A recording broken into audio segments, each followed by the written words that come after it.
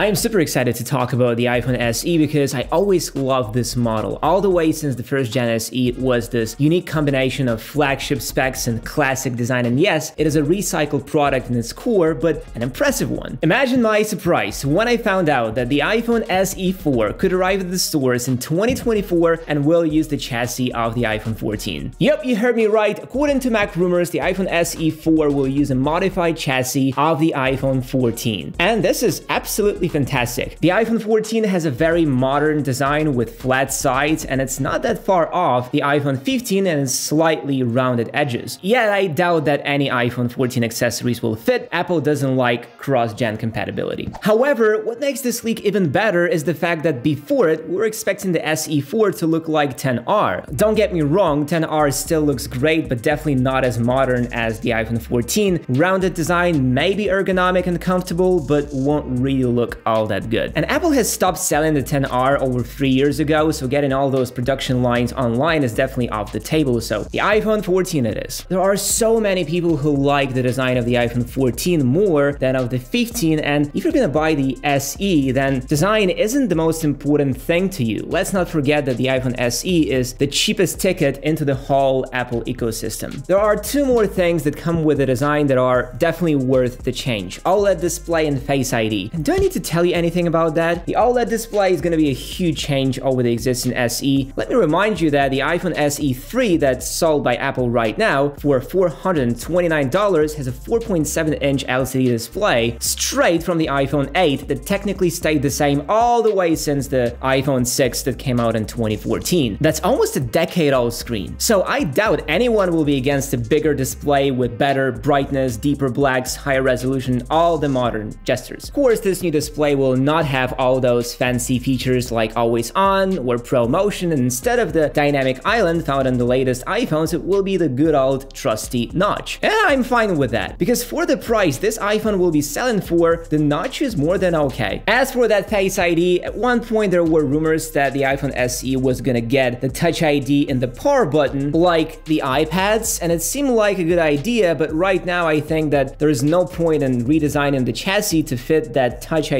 power button, and it's easier to just use Face ID as is. And by the way, Face ID has been around since 2017, and I think in those almost seven years, the cost of the technology has gone down quite a bit. And I don't need to explain why Face ID is such a great thing to have. If you're using an iPhone with Touch ID, believe me, Face ID is a huge step up, both in terms of comfort and security. Now, if you want to buy this iPhone, you need to be ready to also buy a charging brick. And that's why we should talk a bit about this charger from AOHi, sponsors of this video. AOHi MagCube 140 watts. First off, the size of this charger is incredible. Thanks to the GaN technology, it's so small and lightweight that it barely takes up any space in my carry-on bag. It's perfect for traveling or carrying on the go. If you don't know what this GaN is, it's a special type of semiconductor that is more efficient than the one in your typical power brick. The design of this charger is also quite cool and stylish, and this vivid yellow color reminds me of cyberpunk, you know? Equipped with two Type-C ports and one Type-A port, you can charge all my devices at once. It can deliver up to 140 watts of power to my devices from both Type-C ports, which means I can charge my laptop, phone, tablet, and more all at the same time. It also supports a variety of charging protocols, including PD 3.1. Another cool feature of this charger is that it uses the same Pi charging technology for all kinds of devices. This means that it automatically adjusts the charging current to the optimal level for each device, which helps to prevent overcurrent, overvoltage, overheating, and short circuiting. And there is one more cool trick, AOHi's 3.0 technology. It ensures that the charger delivers high power output while maintaining real-time temperature control and fast heat dissipation. This means my devices charge safely and quickly without overheating. 140 watts is no joke, so it's good to know that nothing's gonna happen to my beloved MacBook. And there is also LED indication that shows charging stages, which is quite cool. I will leave a link in the description, so be sure to check it out.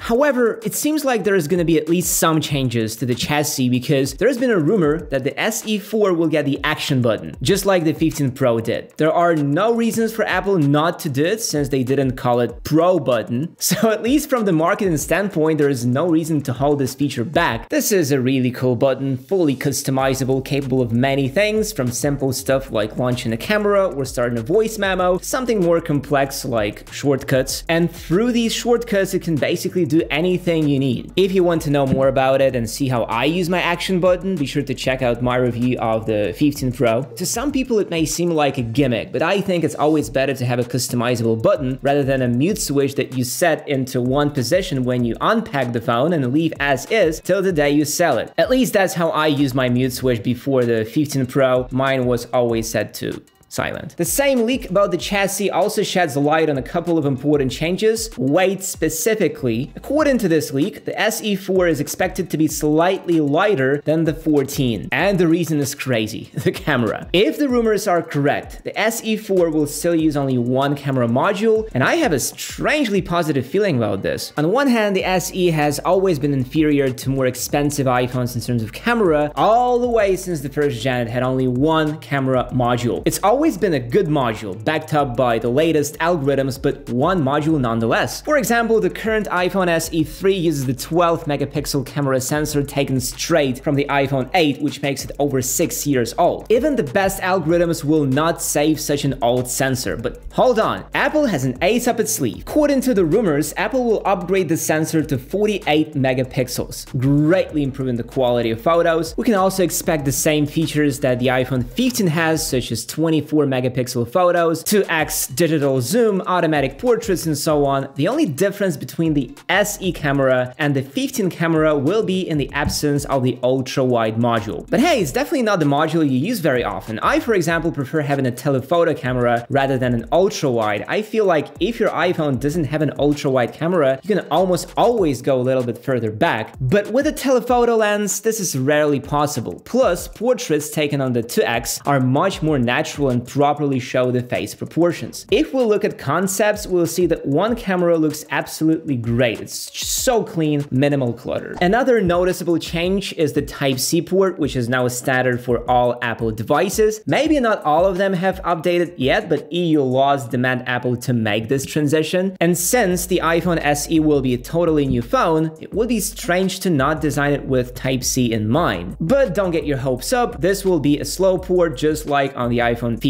you will still be able to connect external drives and all the other peripherals, but forget about blazing fast data transfer speeds. Yet again, those people who want to buy the SE most likely don't care about all that. So the slightly slower Type-C will not be an issue for them. As for the processor, here we don't have any concrete rumors. The current 3rd gen SE uses the A15 chip from the iPhone 13 and 14, and looking at how Apple picks which processor to use in the iPhone, becomes quite difficult to predict which processor will the iPhone SE4 get. But most likely will be the A16 from the iPhone 14 Pro and the iPhone 15. No way Apple gives a 17 Pro to any iPhone other than Pro iPhones. But even with the A16, you will never get slowdowns or lags. The iPhone 14 Pro is still a very fast iPhone and the iPhone SE4 will be just as fast. Right now it looks like the SE4 is going to be a wild mix of the iPhone 15, 14 and SE3. But there has recently been a leak that proves how close the SE4 will be to the 14. The SE4 will reuse the existing iPhone 14 battery, at least that's what MacRumors say. And this makes a lot of sense. Why even bother developing a new battery when you can just use the battery of the phone you're already borrowing the chassis from? Of course, this battery will be identical, but only in terms of its internal structure and size. Apple being Apple will surely change the connector to make the battery from the 14 impossible to directly use for the SE4. But at least we already know what the battery of the iPhone 14 is capable of. 30 to 100 million power is much better than 2000 than the current iPhone SE has, and I think we can confidently say that the iPhone SE4 will be a solid two-day phone. When will it be released?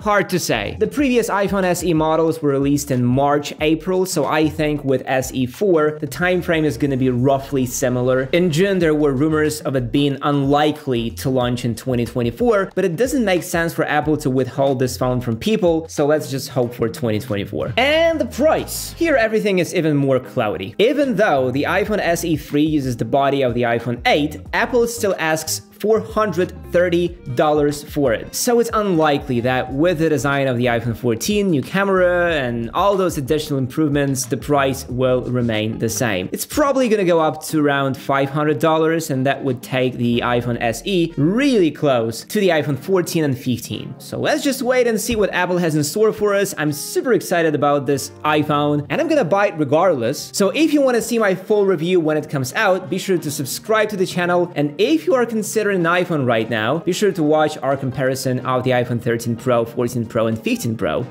and see you there.